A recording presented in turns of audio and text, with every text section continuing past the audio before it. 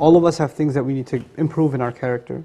Uh, it requires a person to look deep inside themselves and say, what exactly do I wish I was doing better? Before you even seek more knowledge, are you able to be honest with yourself and be able to make a list for yourself? These are the things I wish I wasn't doing, and these are the things I wish I was able to accomplish in my life.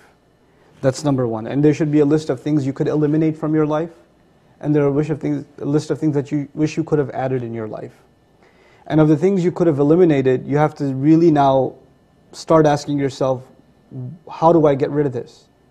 For example, somebody has a problem with any kind of addiction, be it drugs, alcohol, pornography, whatever it may be, some kind of addiction. Well, these addictions, they usually happen at certain situations. Some young man's home by himself. He gets from home from school early, parents aren't home yet, he's got an hour and a half to himself in the house. Guess what? That's when trouble strikes. So you identify, yes, I do this bad thing, but I do it at a particular time in a particular situation. So maybe if I change something about that time and that situation, it'll help me.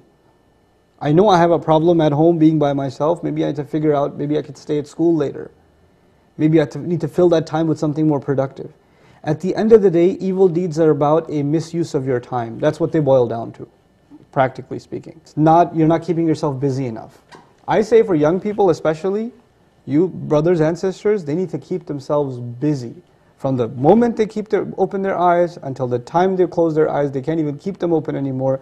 They should be just busy doing stuff.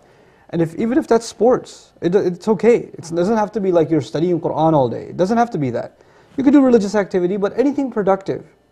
You, you get a job somewhere, you, you start getting an internship, you start doing some research, you get into sports, or whatever it may be but you're keeping yourself productive. The first thing in fixing our character is getting rid of evil deeds. Like I said before, do no harm.